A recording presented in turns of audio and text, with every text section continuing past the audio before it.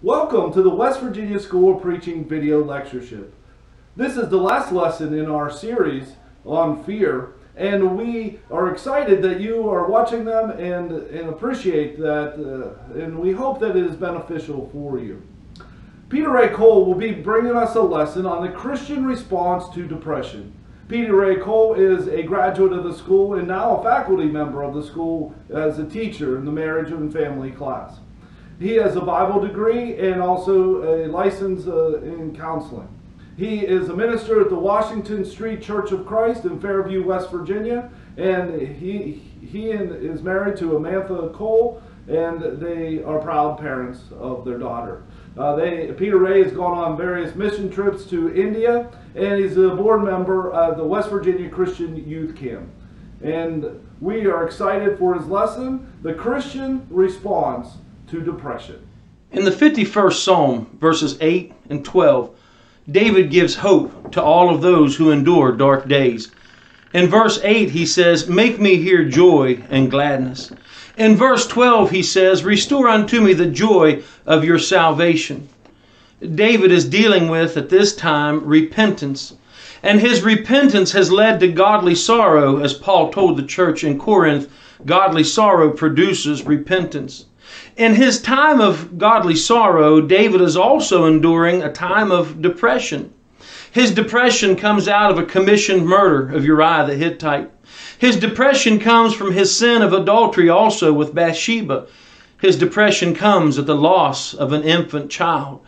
The Bible tells us that there are dark days that we're all going to endure, that there are valleys of shadows of death. In the 23rd Psalm, that God is always with us, yet those valleys are always going to be there.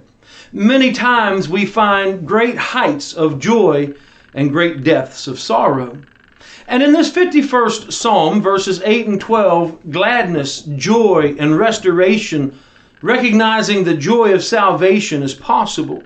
You see, what we find is that depression can come for a variety of reasons. Sometimes, like David, we endure depression because of our sin. Yet at other times, we endure our depression not because of sin, but sometimes because of a chemical imbalance that occurs in the brain that God has given us. And other times, we even have to admit there are times of depression that we really cannot pinpoint why it is we are so depressed. Yet we still find ourselves in a feeling of despair without hope and so very, very lonely.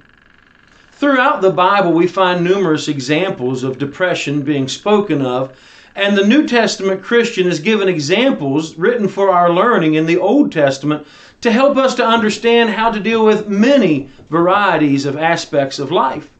As a matter of fact, in the book of Ecclesiastes, as Solomon, the wisest man other than Jesus to ever walk this earth, gives us a time in our lives as we age and as we mature, and as this tent that soon, soon shall be shed begins to decay. He says in the 12th verse of Ecclesiastes, Remember now your Creator in the days of your youth before all of the aspects of age begin to break down. Before you find the days have very little joy you know, sometimes we reach an age not because of sin and not because of anything that we have done, but because our bodies have aged, that we find depression, because our grinders are low, because it's difficult to hear and see, and because we're not able to be out with our brotherhood, our family of God any longer, we can find ourselves depressed at times. Not just because of sin, but because of the situation that we find ourselves in. Sometimes our depression is because of sin. Sometimes our depression is because life has ups and downs, heights of joy and depths of sorrow. In the 23rd Psalm, we get a picture of this, a small glimpse of the idea of even though we walk through the valley of the shadow of death, God is with me. Thou art with me. The idea that the psalmist is trying to get us to understand is sometimes death is so near it's a shadow yet God is with us. And no matter how difficult our despair becomes, God is always with us. In 1 Corinthians in chapter 10 and verse 13, the inspired word of God says that temptation is common to all men. No temptation has overtaken you except such as is common to man. If you go earlier in this chapter, you're going to find that all of the Israelites were dealing with a variety of sin. And they, of the older generation, were battling this. And now God tells us that we also are going to be tempted in all points. Yet we are with sin, unlike Jesus Christ. And so what we begin to find in 1 Corinthians in chapter 10 and verse 13 is that God will never allow you to be tempted beyond what you are able to withstand. You know, sometimes this verse has been criticized based on our interpretation. Many times we like to say that God will never give us more than we can handle. God will never put on your plate more than you can handle. Lately, this interpretation has come under some criticism that may be false. For example, the common thought today is well, there are things in this life that we can't handle. Many times we see cancer as an example. Somebody has cancer, it's a terminal illness, it's a, it's a difficult statement to hear you have cancer. But then we say this is more than a person can handle. Sometimes people have used as an example the idea of marriage that just couldn't be saved because of adulterous relationships, and we say this is more than you can handle. But the Bible says something very different the Bible says, by the inspiration of the Holy Spirit and by the pen of Peter, God has given you all things pertaining to life and godliness. That means God has shown us through His written Word, through the life of Jesus Christ and the salvation we find in His blood, and through the examples written for our learning in the Old Testament, that we are able to endure those dark days, those valleys where the shadow of death is present we are able to handle the heights of joy and not lose our focus on God and to keep our priorities where they need to be. God has given us all things pertaining to life and godliness. The Bible says, rejoice always. And he teaches us, even though Paul was in prison when he penned these words, he taught us how to have joy even in difficult circumstances. The Bible tells us, I can do all things through Christ who strengthened me.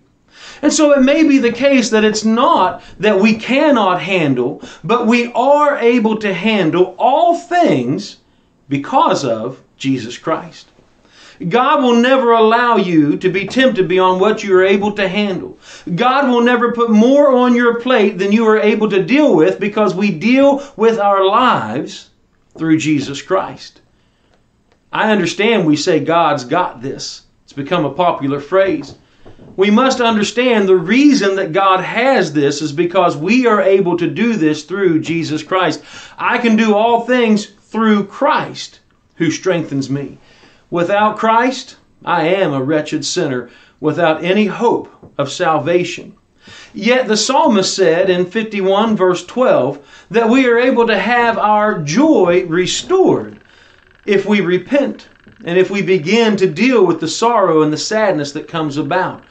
1 Corinthians chapter 10 and verse 13 to the New Testament Christian is a way that we are able to respond to depression by being able to look at this and say, God has a way out for me. God has a method, a means for me to be able to endure this dark day and even at times to be able to conquer this dark day. When we think about 1 Corinthians chapter 10 and verse 13, if we understand that we have all things pertaining to life and godliness, if we understand I can do all things through Christ who strengthens me, we better understand Revelation verse 2, chapter 2 and verse 10, where he says, "Be thou found faithful until death, and I will give you the crown of life." What do we understand from this? Well, ultimately, the worst thing that can ever happen to the New Testament Christian is that we die and go to heaven. This ought to motivate us that nothing bad can happen to me that is so great that I will lose my salvation unless I allow sin to conquer me.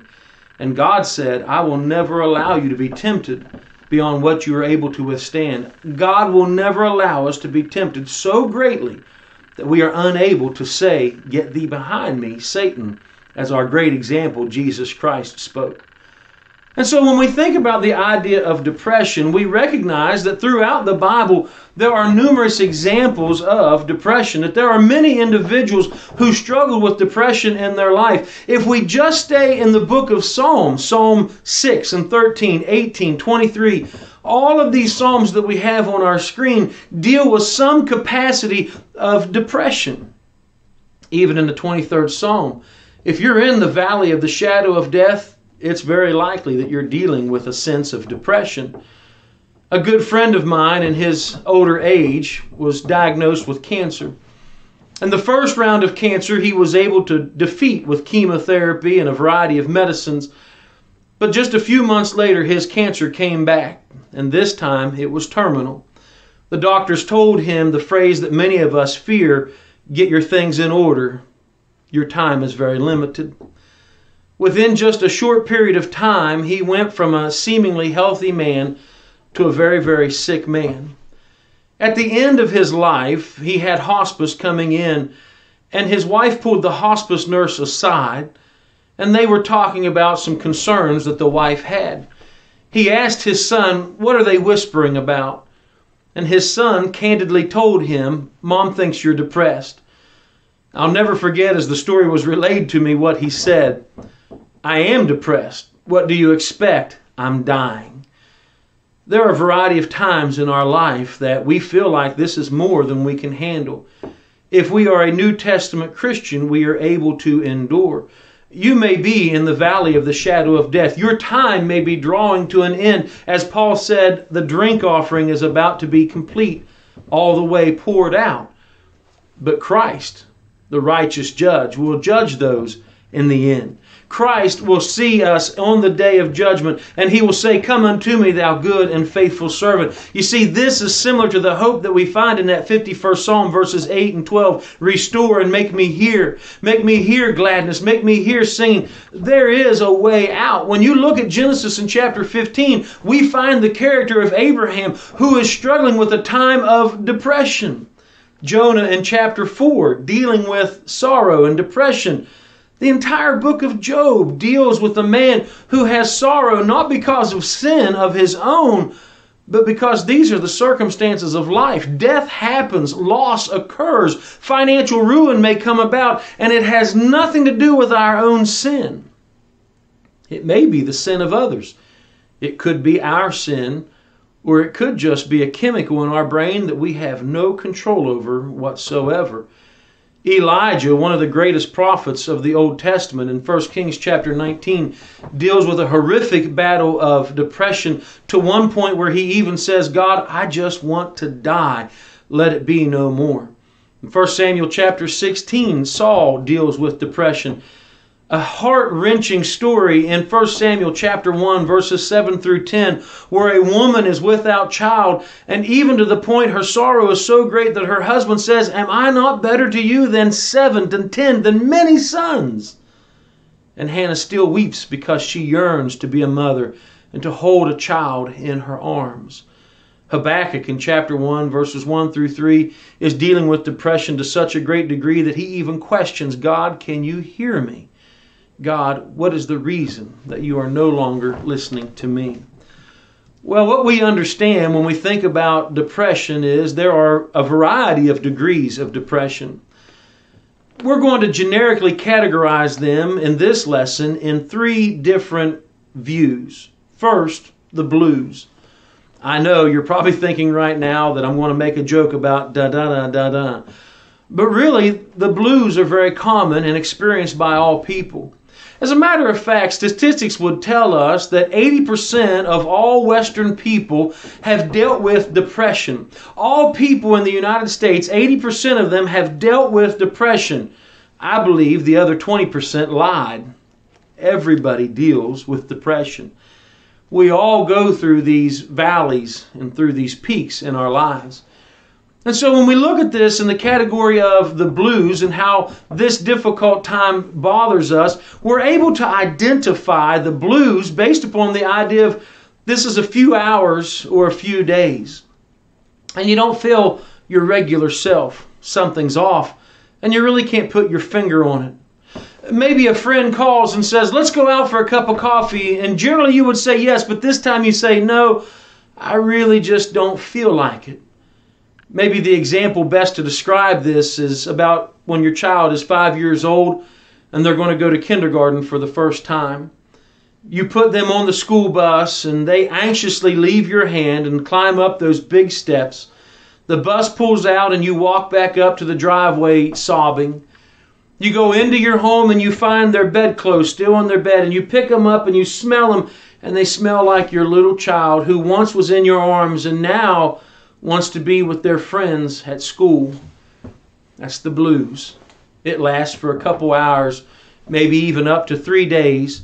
But then eventually you snap out of it and you start putting little pictures on your refrigerator that your child has drawn. You start putting up all the math and all the recital, all that they have done, and a different kind of joy replaces those blue feelings. Maybe it's when you give your son your baseball glove and you find out that as you give your son your baseball glove that he doesn't want your glove. He wants his favorite player's ball glove. That's the blues. The blues are difficult because they're based on circumstances where often we feel bad we have loss we have sorrow because of a circumstance in our life. And sometimes lasting up to two weeks we find the aspect of depression. We're not eating regularly and we're either sleeping too much or we're staying up all hours of the night.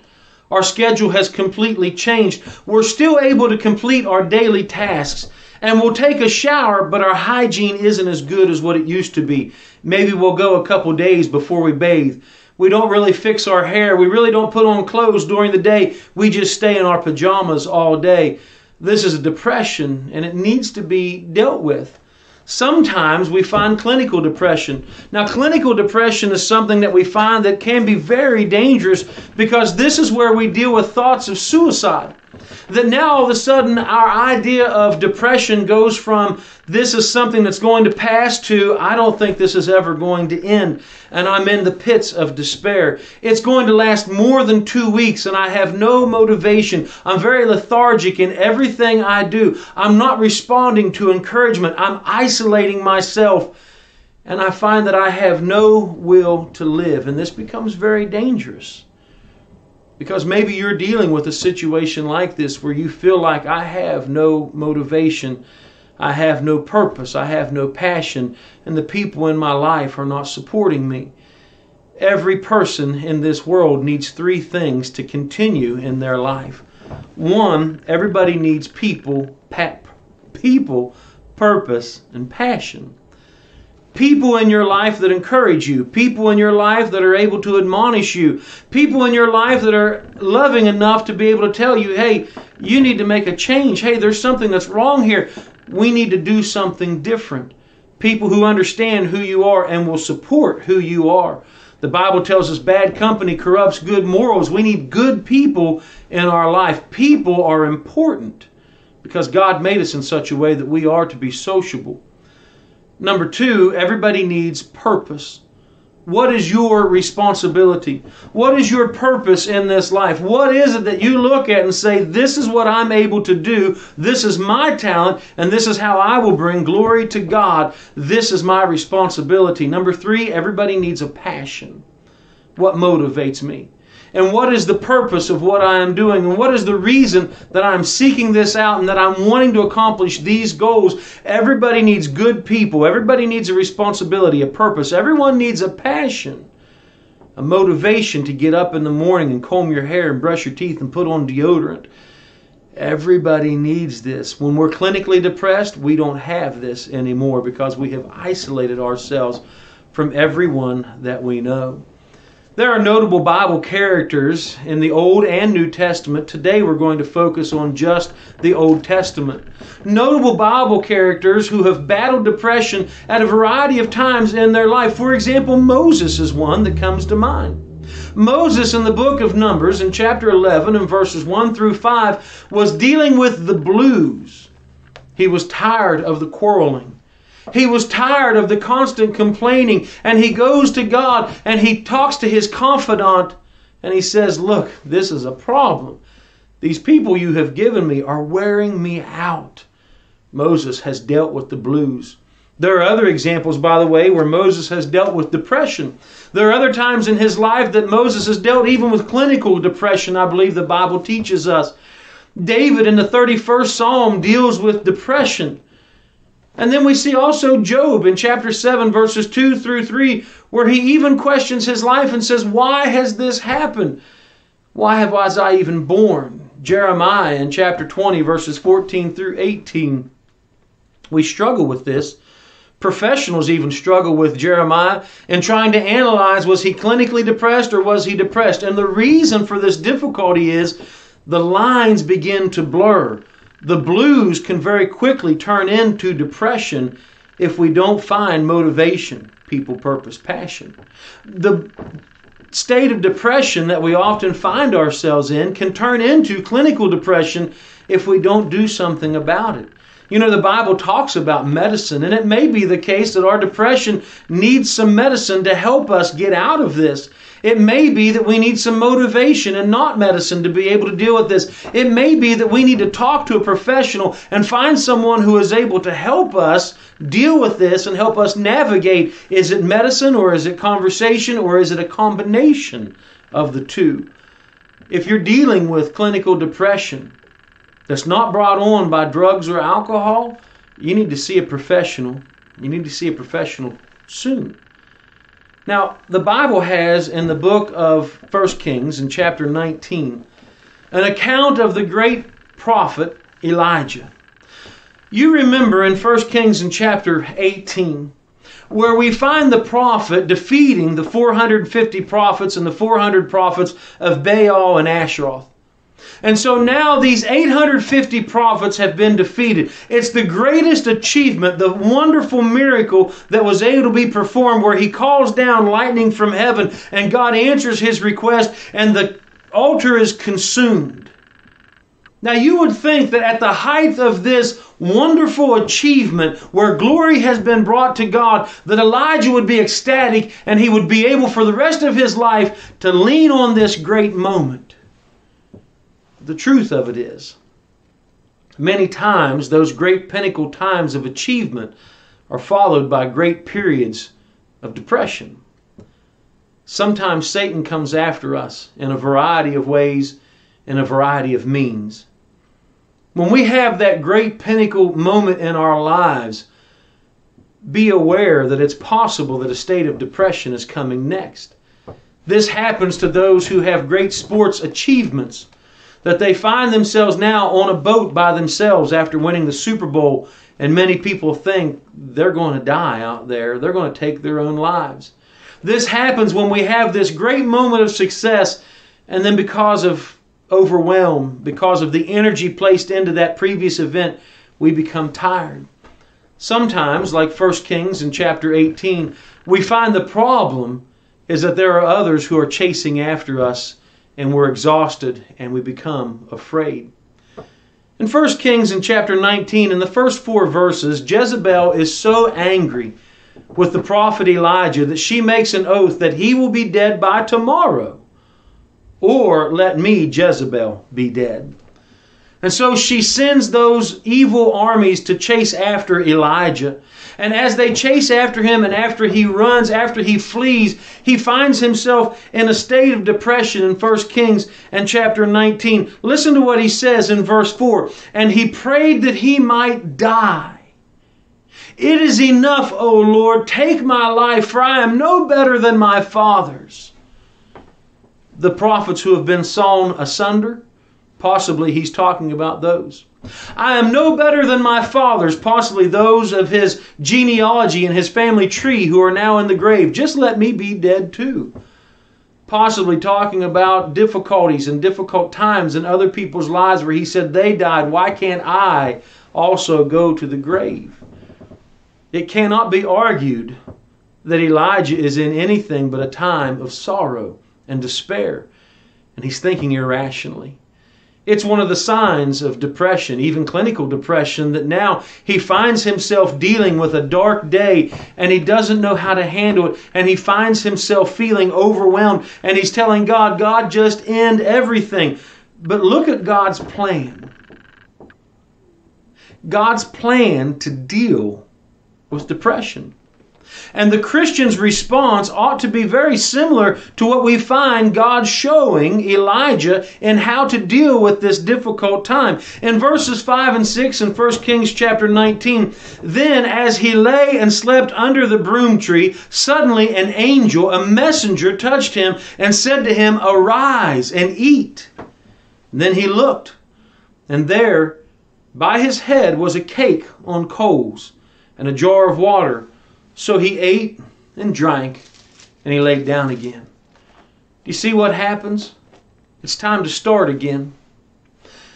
Elijah had lost his rational view to the point that he wasn't eating correctly, he wasn't sleeping correctly, and he wasn't getting his daily exercise. His routine had been taken away. And now that irrational thought props into his mouth because he's been isolated and he proclaims to God, It is better for me to be dead. Can you imagine the great prophet Elijah saying, I can do no more good in this world after just defeating 850 prophets? Yet this is what happens many times when depression enters into our lives and it begins to haunt us and it begins to hurt us and it makes us begin to think, what else can I do but die? And God says you can start living again. Now, many times when we are in the thrust of depression, when we are in the throes of this sorrow, we don't like to hear things that are motivational. We just want to curl up and die. We just want to pull the blanket up over our head and rest a little bit longer. But God says it's time to eat and to eat right. God provided the nutrition that He needed. It's not time for junk food, it's time for some good food, not just comfort food good nutritional food. God made this, and it was not junk. God said it's time for you to drink to get your thirst back into where it needs to be, to be able to restore yourself. It's time to start again. And so when you battle depression, regardless of what level it is on, you need to compel yourself, force yourself to get up and to take a shower. Do you remember what it was like when you were a little kid and you came home sick and your mom and dad maybe couldn't keep you because of their own responsibilities and so you went to grandma's house? And when you went to grandma's house when you called home sick she had on the couch a, a sheet put over it and you could lay on that couch and she would brush the hair out of your forehead and she would say honey what do you want to eat? Nobody made a grilled cheese and a tomato soup like my grandma Nobody was able to give me comfort like my grandmother and to make me feel special and to help me get back on my feet because I'd been sick. Do you even remember when you would feel better and she would come in and you were maybe watching your favorite Andy Griffith show, you were watching your favorite Care Bears, and she would come in and you'd lay back down real quick and she'd say, How are you feeling? And you should have said, I feel better, Grandma. But you kind of liked the attention and you said, Well, I'm a little bit better. you see, we get like that when we're depressed. We don't want to motivate. We don't want to feel better. We want to waller in it a little bit. We want to roll around in this, and, and it's very hard to find motivation. So here's what God tells us start again. What can I do today and accomplish it? I'm going to get up and I'm going to make my bed. I'm going to get up, make my bed, and I'm going to take a shower.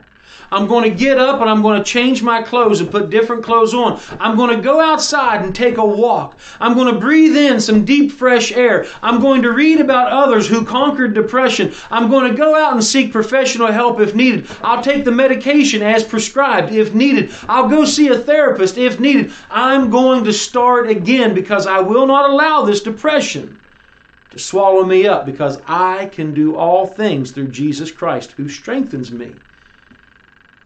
I'm going to start again. And I'm going to stop hiding. In 1 Kings in chapter 19 and verse 9, the Bible says, And there went there he went into a cave and spent the night in that place. And behold, the word of the Lord came to him, and he said to him, What are you doing here, Elijah? You see, God had told him to start again. God had given him everything that he needed to begin to refresh himself. And what did he do? Elijah went and hid in a cave. What are you doing here, Elijah? Elijah, I have people for you to go see. I have a purpose for you and the responsibilities, and I have motivation for you. I have your passion that you need to continue to do this. Stop hiding. Find a friend, a confidant, someone you can trust, someone that you would take advice from because they've been, for, been there for you in the past. Stop hiding. What are you doing here? Are you starting again? Are you going to stop hiding? Are you finding the motivation that you need to get up and to go and to do exactly what it is that you need to do? The Bible tells us in chapter 19, verses 15 through 17, that it's time to get active, stay busy. Then the Lord said to him, verse 15 of 1 Kings chapter 19, Go return on your way to the wilderness of Damascus, and when you arrive, anoint Hazael as king over Syria. I have a responsibility for you. Here's a passion for you and the motivation to get this done because he says Jehu in verse 17 will kill.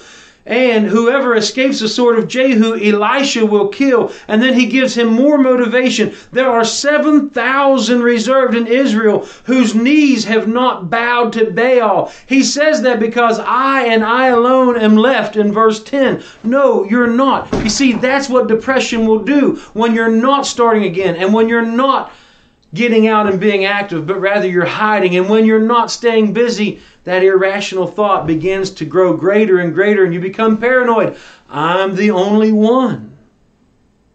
No, you're not. You're not the only one. You're created in the image of God. You're an individual who needs to go into all the world and proclaim the gospel of Christ because you have salvation and it's time for your joy to be restored. Start again. Get up, make your bed, take a shower. Pat yourself on the back for the accomplishment that you have made. Look in the mirror and comb your hair, brush your hair, fix your hair, put on your clothes for the day, and call someone and tell them how God has blessed you in your life. Tell someone that you were thinking about them and you wanted to give them a little bit of encouragement because maybe you thought they were going through a difficult time. You don't have to talk about yourself. You don't have to talk about your problems, but recognize that you have a responsibility to be sociable with your brethren. Go to Bible class, go to periods of worship, and say, I was glad when they said unto me, Let us go unto the household of faith. Let us go into the house of worship. Let's go sing a joyful song to God. Restore unto me the joy of your salvation. Make me hear gladness. Make me, even in those times that I don't want to hear it.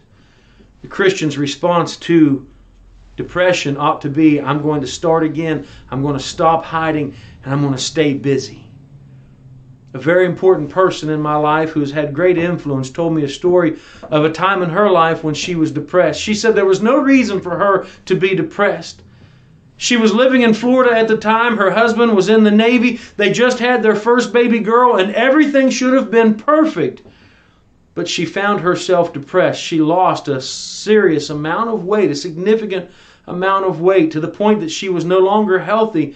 Her hands shook and trembled all the time. And she called her mother and she said, What do I do? And her mother just kept saying, Stay busy. Get your mind focused on something good and give your hands something to do. Pick up a new hobby. Learn how to knit. Learn how to crochet. Learn how to braid. Learn how to woodwork. Learn how to do something. Get busy.